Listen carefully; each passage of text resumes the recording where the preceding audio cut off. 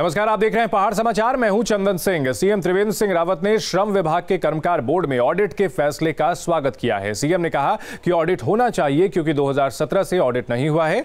Audit से वित्तीय व्यवस्था की पूरी जानकारी मिलती है। के समय समय पर ऑडिट होना चाहिए। ऑडिट के बाद ही सही तस्वीर सामने आएगी। चमोली के थराली के विधायक मुन्नी देवी शाह पूर्व विधायक के आरोपों को लेकर उन्होंने प्रेस कॉन्फ्रेंस की और उनके सभी आरोपों को सिरे से खारिज किया और कहा कि अगर डॉक्टर जीतराम के पास कोई सबूत है तो दिखाएँ, नहीं तो उनकी तरफ़ से एक्शन लिया जाएगा। आपको बता दें कि बीते दिनों पूर्व विधायक डॉक्टर जीतराम ने थराली विधायक मुन्नी देवी पर भ्रष्टाचार के आरोप लगाए थे। मैं समझती हूँ कि पूर्व विधायक जी ने कहा कि वो 10 परसेंट विधायक निधि से कमीशन ले रही है। मैं पूर्व विधायक जी से कहना चाहती हूँ कि वो सिद्ध कराएँ, वरना हम इस पे बहुत कड़ा कदम उठा सकते हैं। वो उस, जो बयान उन्होंने दिया है, उस बयान को सिद्ध कराएँ। Army chief general Mukund Naravane दो दिवसीय उत्तराखंड दौरे पर हैं। दौरे के पहले दिन आर्मी चीफ चमोली के जोशीमठ पहुँचे। यहाँ आर्मी चीफ ने सेना के बड़े अधिकारियों के साथ समीक्षा बैठक की। आज वो पिथौरागढ़ जाएँगे, जहाँ चीन और नेपाल की सीमाओं का निरीक्षण करेंगे।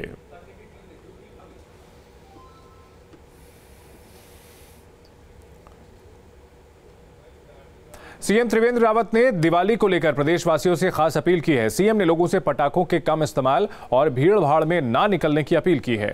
सीएम ने कहा कि हमें पर्यावरण के साथ लोगों के स्वास्थ्य का ख्याल रखना है।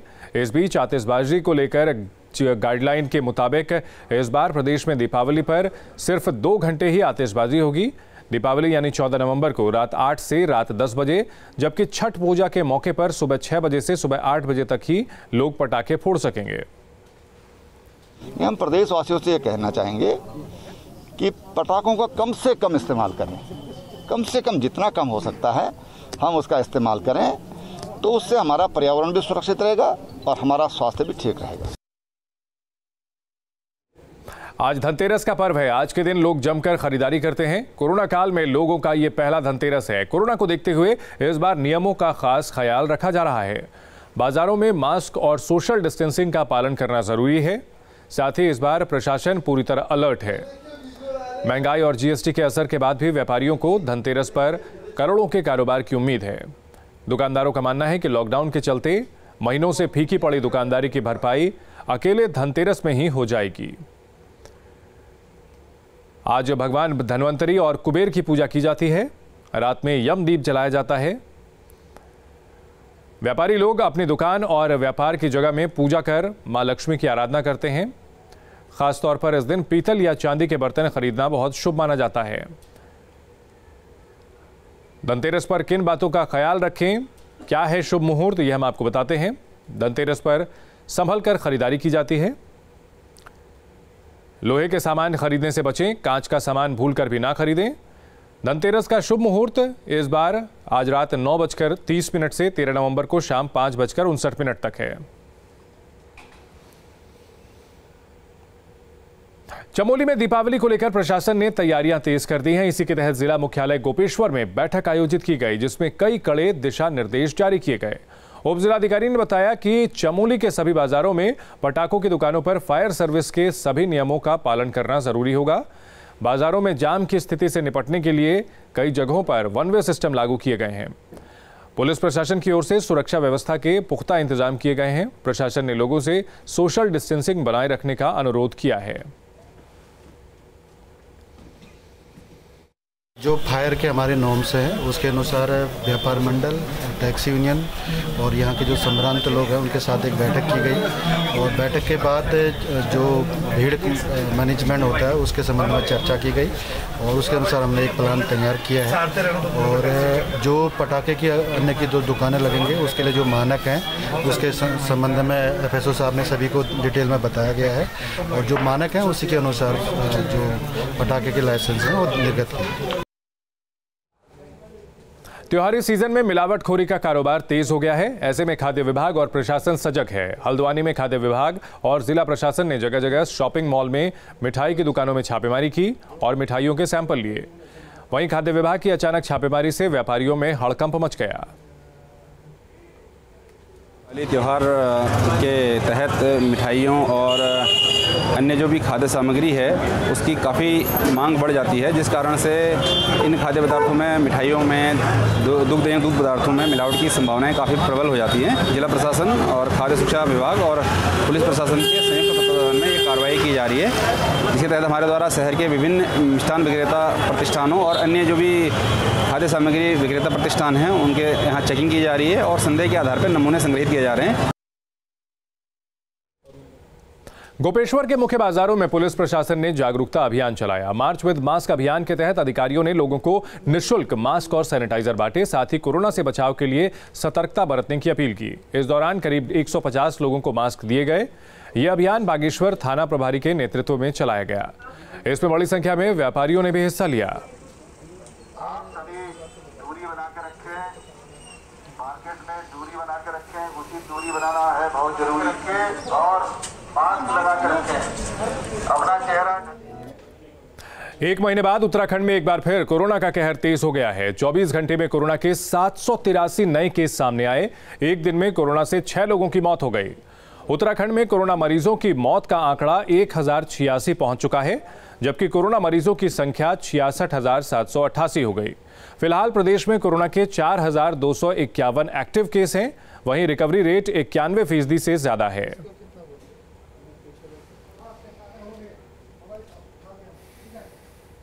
कई राज्यों में कोरोना के बढ़ते संक्रमण के बीच केंद्रीय स्वास्थ्य मंत्री डॉक्टर हर्षवर्धन ने करीब आठ राज्यों के स्वास्थ्य मंत्रियों के साथ बैठक की। इस दौरान सीएम त्रिवेंद्र सिंह रावत ने दिल्ली की वजह से प्रदेश में बढ़ रहे कोरोना केस को लेकर चिंता ज़ाहिर की। सीएम ने कहा कि त्योहार के सीज़न में दिल्ली से उत्तराखंड आने वाले लोगों की तादाद बढ़ गई है। ऐसे में अगर दिल्ली में कोरोना कंट्रोल हो गया तो उत्तराखंड में भी कंट्रोल हो जाएगा।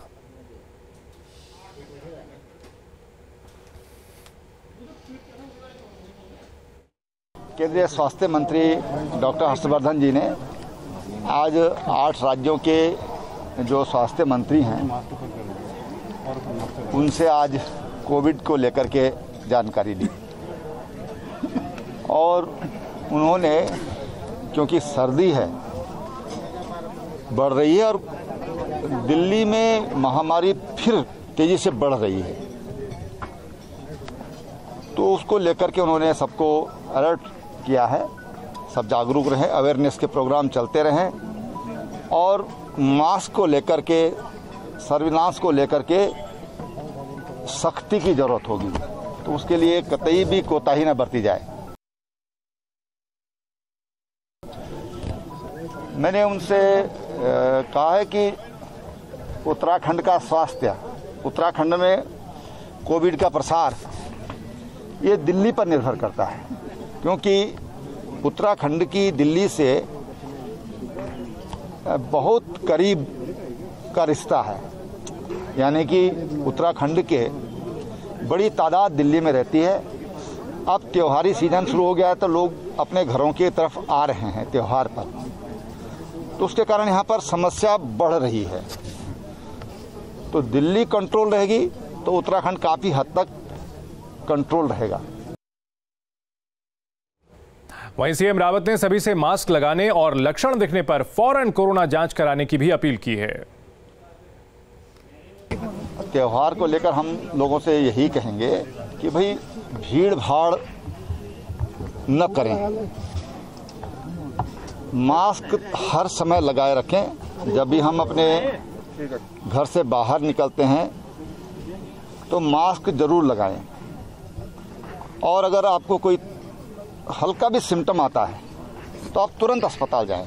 देखिए, राज्य में जो मौतें हो रही हैं, उसका सबसे बड़ा कारण ये है कि लोग पाँच दिन के बाद बुखार के बाद आ रहे हैं, चार दिन के बाद आ रहे हैं छः दिन के बाद आ रहे हैं। अनुभव में आ रहा है कि अगर किसी ने छः दिन से ज़्यादा लेट कर दिया तो उनकी जान बचाना बहुत मुश्किल में पड़ रहा है। या मैं कहूँ कि उन्होंने एक तरह से खतरे को गले लगाने का काम कर लिया है। इसलिए किसी को भी सिम्टम्स आते हैं, एक तो तुरंत उसका चेकअप कराएँ, उसका टेस्ट कराएँ टेस्ट फ्री हो रहे हैं फ्री टेस्ट कराएँ, और तुरंत जो डॉक्टर्स हैं जो उनके पास जाएँ ताकि उनका समय पर इलाज हो सके। पाठ समाचार में रुकेंगे, एक छोटे से ब्रेक के लिए, फ़ौरन लौटते हैं। ब्रेक के बाद आपका स्वागत है। केदारनाथ यात्रा पड़ाव में जगह जगह एटीएम बंद होने से यात्रियों की परेशानी बढ़ गई है। दरअसल इन दिनों बाबा केदार के दर्शन के लिए बड़ी तादाद में यात्री केदारनाथ पहुँच रहे हैं, लेकिन कैश की किल्लत की वजह से यात्री खासे परेशान नज़र आ रहे हैं।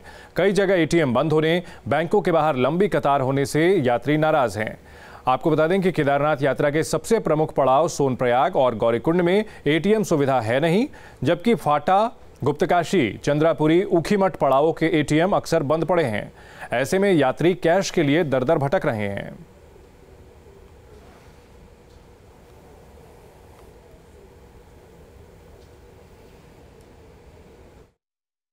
मैं दिल्ली से आया हूँ।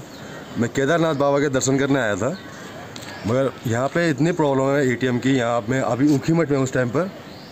यहाँ एटीएम में ताले लगा रखे हैं। ये क्या प्रशासन क्या कर रहा है? कोई टूरिस्ट आ रहा है, भक्तजन आ रहे हैं यहाँ पे, काफ़ी लोग। ये डिजिटल इंडिया तो उत्तराखंड में तो कहीं है ही नहीं, ना पेटीएम लेता, कोई गूगल पे कुछ नहीं है। टूरिस्ट को यहाँ से दिल्ली से आते, जब भी उत्तराखंड में जैसे ही उसने एंट्री की, यहाँ पे उसको कुछ भी, मुझे, मैं खुद इस जीता जागता है, इसका मैं प्रमाण हूँ। मेरे को यहाँ पे कोई भी एटीएम खुला नहीं मिला।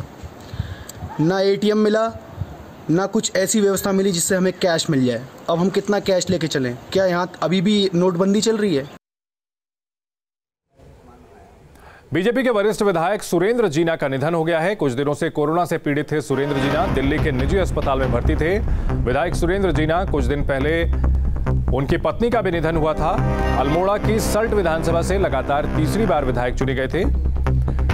दिल्ली के एक अस्पताल में उनका निधन हुआ। अल्मोड़ा की सल्ट विधानसभा सीट से विधायक सुरेंद्र जीना का निधन हो गया है। कोरोना संक्रमित होने की वजह से अस्पताल में भर्ती थे। कुछ दिनों पहले उनकी पत्नी का निधन हुआ था और अब विधायक सुरेंद्र जीना का निधन हो गया है। दिल्ली के निजी अस्पताल में उन्होंने आखिरी सांस ली। कोरोना संक्रमित होने की वजह से उनकी तबीयत खराब थी। अल्मोड़ा की सल्ट विधानसभा सीट से लगातार तीसरी बार चुने गए थे विधायक। बीजेपी के वरिष्ठ विधायक सुरेंद्र जीना का निधन। कोरोना संक्रमण की वजह से सुरेंद्र जीना की जान गई है। दिल्ली के एक निजी अस्पताल में उनकी मौत हुई है। सुरेंद्र जीना, जिनकी पत्नी का कुछ दिनों पहले निधन हुआ था, अब उनका भी निधन हो गया है। संवाददाता सुरेंद्र डसीला हमारे साथ फ़ोन लाइन पर जुड़ गए हैं। सुरेंद्र, एक और विधायक का निधन हो गया है। काफ़ी दुखद खबर। देखिए चंदन बहुत दुखद खबर है क्योंकि बहुत लगातार तीसरी बार के विधायक थे और सबसे ज़्यादा प्रखर वक्ताओं में शामिल थे। सदन में सवाल पूछने का तरीका क्या होता है? कैसे अपने ही मंत्री को कैसे घेरा जाता है जब विधायकों को प्रश्नों के उत्तर चाहिए होते हैं? तो ये तरह ये तरीका उनको आता था और चंदन आ, बहुत एक्टिव बहुत फिट और बहुत कम उम्र के वो थे युवा थे और कैबिनेट मंत्री के लिए उनका नाम सबसे आगे था। ये उम्मीद थी कि जब भी कैबिनेट का रिशफल होगा कैबिनेट विस्तार होगा तो सुरेंद्र जीना का नाम सबसे आगे होगा। लेकिन ऐसा नहीं हो पाया। कुछ ही दिनों पहले उनकी पत्नी की अचानक तबीयत खराब हुई और उनकी डेथ हुई। उनके सिम्टम्स भी कोरोना की तरह नज़र आते थे। इसके बाद सुरेंद्र जीना अचानक बीमार हुए। दिल्ली के एक बड़े निजी अस्पताल में उनका इलाज चल रहा था। कल सुबह साढ़े नौ बजे से वो वेंटिलेटर पे थे। और लेकिन आज सुबह सुबह खबर आई कि अब वो हमारे बीच में नहीं रहे। मुख्यमंत्री से लेकर भाजपा प्रदेश अध्यक्ष ने भी अपनी सांत्वना उनके परिवार के प्रति जताई है और उनके भाजपा को ले भाजपा और सरकार में जो उनका अमूल्य योगदान रहा उसकी भी उन्होंने सराहना की और कहा है कि प्रदेश की राजनीति में एक बड़ा जो भविष्य था वो चला गया है। युवाओं के लिए भी वो बहुत जाने माने नेता थे। इसलिए प्रदेश में शोक की लहर है और भाजपा के लिए प्रकाश पंत के बाद ये बड़ी क्षति होगी जिसमें जो युवा विधायक हैं सुरेंद्र जीना लगातार तीसरी बार के विधायक थे उनके देहांत से बहुत धक्का पूरे प्रदेश को पहुँचा बिल्कुल बहुत बड़ा धक्का लगा है प्रदेश को बीजेपी को और अल्मोड़ा को भी जहाँ से वो तीसरी बार विधायक चुने गए थे। बहुत शुक्रिया सुरेंद्र हमारे साथ जुड़ने के लिए। बुलेटिन में फ़िलहाल इतना ही आप देखते रहिए न्यूज़ स्टेट।